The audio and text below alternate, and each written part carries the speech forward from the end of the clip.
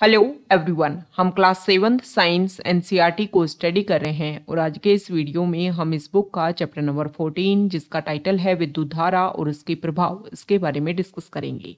तो चलो स्टार्ट करते हैं। सबसे पहले चैप्टर में विद्युत अवयवों के प्रतीक यहाँ पर शो कर रखे हैं। मतलब विद्युत परिपथ में जो जो अवयव यूज़ किए जाते हैं, उन सभी को हम किन किन सिम्बल से रिप्रेजेंट करते हैं, ताकि जब भी आप किसी विद्युत परिपथ को व्यू करो तो उन सिम्बल के बेसिस पर आप समझ जाओ कि ये जो सिंबल है वो किसको रिप्रेजेंट कर रहा है।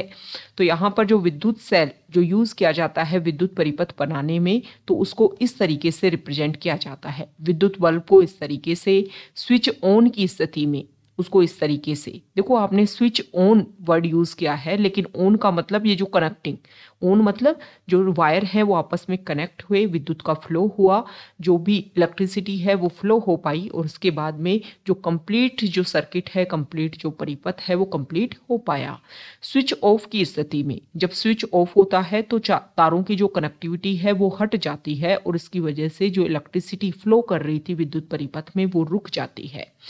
बैटरी जो है, उसको इस तरीके से रिप्रेजेंट किया जाता है और जो संयोजी तार संयोजी तार मतलब जो जोड़ने वाले जो तार हैं, उनको इस तरीके से रिप्रेजेंट किया जाता है। तो ये सबसे इम्पोर्टेंट जो टर्म्स हैं, उनके जो रिप्रेजेंटेशन हैं, उन सभी को हमने डिस्कस कर लिया। उसके बाद में यहाँ पर बैटरी की बात की गई है। देखो, ये जो चैप्टर है, वो क्लास सेवन्थ के अकॉर्डिंग जो है, वो बेसिक बातें यहाँ पर दी गई हैं कि किस तरीके से समझाया जा सकता है सेवन्थ क्लास के स्टूडेंट्स को। उसके बाद में यहाँ पर बैटरी की बात की गई है कि किस तरीके से जो बैटरियाँ हैं उनको बनाया जा सकता है। फिर उसके बाद में दो विद्युत परिपथ यहाँ पर शो कर रखे हैं। एक विद्युत परिपथ जो यहाँ पर, अगर हम देखें तो तार जो है वो कनेक्टिविटी है। अभी हमने सिंबल देखे थे तो ये बल्ब को रिप्रेजेंट कर रहा है, ये सेल को रिप्रेजेंट कर रहा है और ये स्विच ऑन की स्थिति को रिप्रेजेंट कर रहा है। मतलब विद्युत परिपथ जो है उसमें विद्युत धारा प्रवाहित हो रही है। मतलब बंद विद्युत परिपथ है। ओके?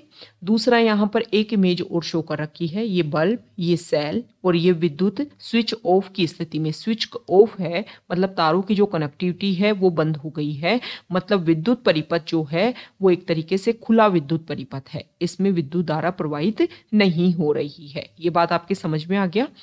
अब यहाँ पर बता रखा है कि जो बल्ब होता है बल्ब आपने घर में भी देखिए कि बल्ब में एक पतला तार होता है, जिसे बोला जाता है तंतु अथवा फिलामेंट ये बल्ब तभी दीप्त होता है जब इससे विद्युत धारा प्रवाहित होती है। और यदि बल्ब का तंतु या फिलामेंट टूट जाता है तो मतलब आप, घर में आपने भी सुना होगा ना कि बल्ब फ्यूज हो गया है। अरे, लाइट नहीं जल रही है मतलब बल्ब फ्यूज हो गया है। मतलब उसका जो फिलामेंट है, वो टूट गया है, जिसकी वजह से वो विद्युत परिपथ जो है, वो एक बंद विद्युत परिपथ नहीं बन पाया, जिसकी वजह से उसमें विद्युत धारा जो है, वो प्रवाहित नहीं हो पाई है। यहाँ पर दो इम्पोर्टेंट बात जो अभी हमने डिस्कस किया कि जब स्विच ऑन की स्थिति में होता है तो बैटरी के धन टर्मिनल से बैटरी के ऋण टर्मिनल तक परिपथ पूरा होता है। परिपथ को जब बंद कहा जाता है और सारी परिपथ में तुरंत विद्युत धारा प्रवाहित होने लगती है और जब स्विच ऑफ़ की स्थिति में होता है तो परिपथ अधूरा होता है, तब इसे खुला परिपथ कहते हैं और स्थिति में परिपथ के किसी भी भाग में कोई विद्युत धारा प्रवाहित नहीं होती है, जो अभी हमने डिस्कस किया तो ये कौन सा विद्युत परिपथ है? ये खुला विद्युत परिपथ है। इसमें विद्युत धारा प्रवाहित नहीं हो रही है। तो यहाँ पर बता रखा है कुछ बेसिक बातें कि भाई जो विद्युत बल्ब है, उसका दीप्त जो तार होता है, जो फिलामेंट होता है, उसको हमें नहीं छूना होता है क्योंकि ये बहुत ज़्यादा गर्म होता है, इससे आपका हाथ जल सकता है। ओके? तो यदि बल्ब का तंतु टूट जाए फिलामेंट टूट जाए तो क्या तब भी परिपथ पूरा होगा या तब भी बल्ब जो है वो जलेगा? तो आपको पता है बल्ब नहीं जलेगा, कैसे जलेगा? जो विद्युत परिपथ है वो तो कंप्लीट ही नहीं हो पा रहा है। अब इसके बाद में विद्युत धारा का जो तापीय प्रभाव है, उसके बारे में हम डिस्कस कर लेते हैं। देखो, जब विद्युत परिपथ कोई कंप्लीट हो रहा है और ये जो तार हैं यहाँ पर यूज़ किए जा रहे हैं, इनमें से विद्युत धारा प्रवाहित हो रही है। कुछ समय के बाद में इन तारों को आप टच करके देखिए तो आप देखेंगे कि ये तार जो है वो काफ़ी गर्म हो जाते हैं। तो इनको क्या बोला जाता है? इसको बोला जाता है विद्युत धारा का तापीय प्रभाव। जब किसी तार से कोई विद्युत धारा प्रवाहित होती है तो वह तप्त हो जाता है, इसे विद्युत धारा का तापीय प्रभाव कहते हैं। समझ में आ गया कि तापीय प्रभाव क्या होता है तो स्विच को ऑन की स्थिति में अधिक समय तक ना रखें। मतलब कोई भी आप यूज़ कर रहे हैं किसी भी ऐसे प्रोडक्ट को जिसमें विद्युत धारा का उपयोग होता है तो ज़्यादा देर तक उसको ऑन ना रखें, क्योंकि ऐसा करने से जो सेल होता है वो काफ़ी दुर्बल हो सकता है। तो यहाँ पर विद्युत धारा का तापीय प्रभाव हमने देख लिया। अब यहाँ पर बताया गया है कि देखो हमारे घर में हम बहुत सारे प्रोडक्ट यूज़ करते हैं। हम देखते हैं विद्युत हीटर जो है वो यूज़ किया जाता है। तो हम एक टाइम के बाद में देखते हैं कि इनमें जो तार यूज़ किया जाता है ना, जो कोयल यहाँ पर यूज़ की जाती है, वो कोयल जो है काफ़ी गर्म होकर के कभी तार जो है वो आपस में टूट जाते हैं और जब तार टूट जाते हैं तो इसकी वजह से क्या होता है जो विद्युत धारा है वो इसमें प्रवाहित नहीं हो पाती है। अब ऐसे तार की विद्युत धारा का वो एक लिमिट तक सहन कर पाते हैं, ज़्यादा लिमिट या ज़्यादा देर तक जो है उसमें विद्युत धारा को वो सहन नहीं कर पाते हैं। तो ये चीज़ें या ये तार जो हैं वो कैसे बने होते हैं और इनको क्यों बनाया जाता है? तो यहाँ पर देखिए कि विद्युत परिपथ को जो हम, हमारे घर में वायरिंग आप अपने घर में देखिए कि वायरिंग हो रखी है। उनमें से तो रेगुलर विद्युत धारा प्रवाहित होती रहती है, लेकिन वो विद्युत जो तार होते हैं ना, अच्छी क्वालिटी के, वो गर्म नहीं होते, वो जलते नहीं है। क्यों? क्योंकि उनको किसी और काम के लिए बनाया गया है। और ये जो तार, जो गर्म होने पर, ज़्यादा देर तक गर्म होने पर टूट जाते हैं, उनको किसी और पर्पज के थ्रू जो है, उनको बनाया होगा। तो यहाँ पर कुछ बेसिक बातें हम समझेंगे कि फ्यूज तार जो है वो क्या होता है। तो सबसे पहले तो ये जो विद्युत धारा का तापीय प्रभाव कि किसी तार से विद्युत धारा प्रवाहित हो रही है तो जो है वो गर्म हो जाता है, इसको विद्युत धारा का तापीय प्रभाव बोलते हैं। तो यहाँ पर बताया गया है कि विद्युत बल्बों का उपयोग प्रकाश के लिए किया जाता है, परंतु बल्ब जो है वो ऊष्मा भी देते हैं, जो वांछनीय नहीं है, इससे विद्युत की क्षति होती है। इस क्षति को बल्बों के स्थान पर फ्लोरेंसेंट ट्यूबलाइट का उपयोग करके कम किया जा सकता है। यह प्रदीप्त लैंप सीएफएल भी विद्युत की क्षति में कमी करते हैं तथा इन्हें सामान्य बल्ब होल्डर में भी लगाया जा सकता है। तथापि बल्ब प्रतिदीप्त नलिकाओं अथवा सीएफएल को क्रय करने से पहले इन पर भारतीय मानक ब्यूरो के आईएसआई चिन्ह को देखना चाहिए। वास्तव में किसी भी विद्युत साधित्र का क्रय करने से पहले इस चिन्ह को अवश्य देखना चाहिए। आईएसआई चिन्ह यह सुनिश्चित करता है कि जो भी प्रोडक्ट है उसके निर्माण में सुरक्षा संबंधी सभी शर्तों का ध्यान रखा गया है और इससे ऊर्जा की क्षति जो है वो न्यूनतम होगी। तो ये इंपॉर्टेंट फैक्ट है, आपको ध्यान होना चाहिए। जब भी आप अपने घर में कोई प्रोडक्ट यूज़ करो तो इन बातों का आपको ध्यान में रखना है। अब यहाँ पर बात किया गया है फ्यूज तार की। इस तरीके के स्ट्रक्चर आपने घर में देखी होगी, लेकिन अभी जो है इसको रिप्लेस किया जाने लग गया है। जो नए इंफ्रास्ट्रक्चर के घर बन रहे हैं, उनमें एमसीबी जो है वो यूज़ की जाती है। कि अगर जितनी ज़रूरत है उससे ज़्यादा विद्युत धारा प्रवाहित हो रही है या हाई लेवल की विद्युत धारा प्रवाहित हो गई है तो एमसीबी जो है वो ट्रिप हो जाती है। आपने सुना भी होगा कि एमसीबी ट्रिप हो गई है, फिर इसको ऑन किया जाता है, जिससे जो है दोबारा से कनेक्टिविटी घर में बन पाती है। तो कुछ विशेष पदार्थों के बने तारों से जब अधिक विद्युत धारा प्रवाहित होती है तो वे शीघ्र ही पिघल कर टूट जाते हैं। इन तारों का उपयोग विद्युत फ्यूज बनाने में किया जाता है। सभी भवनों में प्रत्येक विद्युत परिपथ में फ्यूज लगाए जाते हैं ताकि विद्युत परिपथ में से प्रवाहित की जा सकने वाली विद्युत धारा की कोई अधिक अधिकतम सीमा होती है, जिससे उसमें से सुरक्षा सुरक्षा पूर्वक प्रवाहित किया जा सकता है। यदि दुर्घटनावश विद्युत धारा का मान इस सुरक्षा सीमा से अधिक हो जाता है तो तार अति तप्त हो सकते हैं और आग लग सकती है। तो फ्यूज तार इसीलिए लगे होते हैं कि घर में कोई भी नुकसान ना हो, जो भी विद्युत से रिलेटेड जो भी प्रोडक्ट हैं, उनमें कोई नुकसान देखने को ना मिले। उससे पहले ही घर में जो कनेक्टिविटी है, उसके बीच में ही फ्यूज तार लगाए जाते हैं। तो ये तार जो है वो जल करके टूट जाते हैं, जिसकी वजह से घर के अंदर जो है वो विद्युत धारा का प्रवाह नहीं हो पाता है। और अभी इसको रिप्लेस कर दिया गया है एमसीबी के थ्रू और एमसीबी जो है वो भी ट्रिप हो जाती है, जिससे घर में कोई भी नुकसान देखने को नहीं मिलता है। तो फ्यूज तार जो है वो एक सुरक्षा युक्ति है, जो विद्युत परिपथ की क्षति अथवा संभावित आग के प्रति सुरक्षा प्रदान करता है। तो यहाँ पर बताया गया है कि फ्यूज तार के अपने लेवल पर आपको ध्यान रखना है। कभी उनके डायरेक्ट हाथ नहीं लगाना है, इसकी वजह से नुकसान हो सकता है।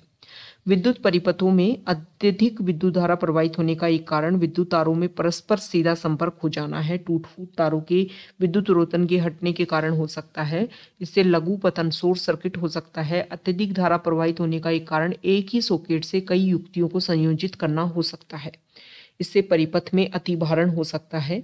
आपने समाचार पत्रों में अतिभारण अथवा लघु पथन के कारण लगने वाली आगों के बारे में पढ़ा होगा। मतलब आपने देखा होगा कि फ्यूज तार जो अवेलेबल नहीं थे घर में हाई लेवल की या उच्च वोल्टेज की जो विद्युत धारा है वो प्रवाहित हो गई, जिसकी वजह से आग लग गई। अब हम देखते हैं विद्युत धारा का चुंबकीय प्रभाव। तो इसमें क्या होता है कि जब भी तारों से विद्युत धारा प्रवाहित होती है तो अगर हम वहाँ पर एक चुंबकीय युक्ति रखते हैं तो उस पर उसका प्रभाव देखने को मिलता है। तो इसके बारे में बताया जाता है कि ये विद्युत धारा का चुंबकीय प्रभाव होता है। इसका जो प्रेक्षण है, वो क्रिश्चियन और स्टेड ने किया था। ये पहले व्यक्ति थे जिन्होंने किसी तार से विद्युत धारा प्रवाहित होती है तो उसके पास रखी चुंबकीय सुई में विक्षेप होता है। ओके? तो ये देखो क्लास सेवन्थ की जो बुक है, इसमें जो भी इम्पोर्टेंट इम्पोर्टेंट टॉपिक दिए हुए हैं, जब क्लास इलेवन ट्वेल्थ में स्टूडेंट जाता है साइंस ऑप्ट करता है तो फिजिक्स में ये सारी जो टर्म है, जो भी फिजिक्स ये मैग्नेटिक इफ़ेक्ट है विद्युत धारा का, ये सब कुछ पढ़ा जाता है वहाँ पर। जो भी हमने थर्मल इफ़ेक्ट पढ़ा, जो भी अभी अभी हमने, हम पढ़ रहे हैं अभी मैग्नेटिक इफ़ेक्ट किसका? इलेक्ट्रिसिटी का, ये सारे अलग अलग चैप्टर होते हैं, जिनको बड़े लेवल पर फिर पढ़ाया जाता है। तो जब किसी तार से विद्युत धारा प्रवाहित होती है तो चुंबक की भांति व्यवहार करता है। इसे विद्युत धारा का चुंबकीय प्रभाव बोलते हैं। समझ में आ गया? विद्युत धारा का तापीय प्रभाव देख लिया, विद्युत धारा का चुंबकीय प्रभाव देख लिया। अब यहाँ पर बताया गया है कि कैसे जो है वो विद्युत चुंबक बनाई जा सकती है। तो यहाँ पर बताया गया है कि विद्युत धारा प्रवाहित करने पर कुंडली जो है वो चुंबक की भांति क्या करती है? व्यवहार करने लगती है और जब विद्युत धारा का प्रभाव समाप्त हो जाता है तो कुंडली का चुंबक तो सामान्यतः नष्ट हो जाता है। इस प्रकार की कुंडली को विद्युत चुंबक कहते हैं। अब यहाँ पर एग्ज़ाम्पल दिया हुआ है विद्युत घंटी का। तो विद्युत घंटी जो है, वो विद्युत धारा के चुंबकीय प्रभाव के अकॉर्डिंग काम करती है। तो यहाँ पर विद्युत घंटी कैसे काम करती है? पहले तो विद्युत घंटी की इमेज आप देखो। इस तरीके से परिपथ बना हुआ है, इस तरीके से ये घंटी है और यहाँ पर जब विद्युत धारा प्रवाहित होती है तो ये इसके ऊपर वार करती है, फिर ये घंटी बसती है, जिसकी वजह से हमें आवाज़ सुनाई देती है। तो यहाँ हम समझते हैं, लोहे के टुकड़े पर तांबे की तार की कुंडली लिपटी होती है। विद्युत चुंबक के निकट लोहे की एक पत्ती लगी होती है, जिससे एक सिरे पर हथौड़ा जुड़ा होता है। लोहे की पत्ती के समीप एक संपर्क पेच होता है। जब लोहे की पत्ती इस पेच के संपर्क में आती है तो विद्युत परिपथ पूरा हो जाता है और कुंडली से विद्युत धारा प्रवाहित होती है, जिससे विद्युत चुंबक बन जाती है। और जब यह लोहे की पत्ती को अपनी ओर खींचती है तो इस प्रक्रिया में पत्ती के सिरे से जुड़ा हथौड़ा घंटी से टकराता है और ध्वनि उत्पन्न होती है। परंतु जब विद्युत चुंबक लोहे की पत्ती को अपनी ओर खींचता है तो यह परिपथ को भी तोड़ देता है। इसे कुंडली से विद्युत धारा का प्रवाह समाप्त हो जाता है और यह कुंडली अब भी विद्युत चुंबक बनी रहती है। मतलब क्वेश्चन किया गया है कि जब वो से घंटी से दूर हो जाता है यह तोड़ा तो क्या तब भी ये विद्युत चुंबक जो है वो बनी रह पाती है जब इसमें विद्युत परिपथ जो है वो कंप्लीट नहीं होता है? तो जब विद्युत परिपथ कंप्लीट नहीं होता है तो कुंडली चुंबक नहीं होती है या लोहे की पत्ती को अपनी ओर नहीं खींचती है। लोहे की पत्ती अपनी मूल स्थिति में आकर पुनः संपर्क पेज से स्पर्श करती है, जिससे परिपथ फिर से पूरा हो जाता है कुंडली से पुनः विद्युत धारा प्रवाहित होती है, थोड़ा पुनः घंटी से टक्कर मारता है और यह प्रक्रिया अति शीघ्रता से दोहराई जाती है। इस प्रकार परिपथ पूरा होने पर हथौड़ा घंटी से टकराता है और इस प्रकार विद्युत घंटी बसती है। तो हमारे जो एग्ज़ाम्स होते हैं, उसमें जो भी इंपॉर्टेंट प्रोडक्ट्स हम यूज़ करते हैं, उनको लेकर के क्वेश्चन पूछ लेते हैं कि ये कौन से प्रभाव के अकॉर्डिंग काम करता है। तो आपको ध्यान में रखना है कि विद्युत घंटी जो है वो विद्युत धारा के चुंबकीय प्रभाव के अकॉर्डिंग काम करती है। तो यहाँ पर इस चैप्टर की समरी हम बताई हुई है कि विद्युत अवयवों को उनके प्रतीकों द्वारा निरापित करना सुविधाजनक, जो अभी हमने स्टार्टिंग में डिस्कस किया। जब कोई तार से विद्युत धारा प्रवाहित होती है तो वो तप्त गर्म हो जाता है, विद्युत धारा का तापीय प्रभाव बोला जाता है। इस प्रभाव के बहुत सारे अनुप्रयोग है मतलब उपयोग है। कुछ विशेष पदार्थों के बने तारों में से जब विद्युत, उच्च विद्युत धारा प्रवाहित होती है तो वो गर्म होकर के पिघल करके टूट जाते हैं। इन पदार्थों का उपयोग विद्युत फ्यूज बनाने के निर्माण में किया जाता है, जो विद्युत परिपथों को क्षति अथवा आग से बचाते हैं। जब किसी तार से विद्युत धारा प्रवाहित होती है तो वह चुंबक की बाती व्यवहार करता है, इसे विद्युत धारा का चुंबकीय प्रभाव कहते हैं।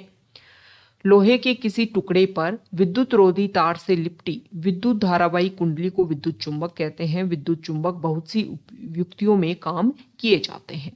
तो ये हमने चैप्टर डिस्कस कर लिया है चैप्टर नंबर 14 अगर आप यहाँ तक आए हैं, वीडियो आपको अच्छा लगा है तो प्लीज़ वीडियो को लाइक कीजिए, शेयर कीजिए और चैनल को सब्सक्राइब कीजिए। Okay, thank you.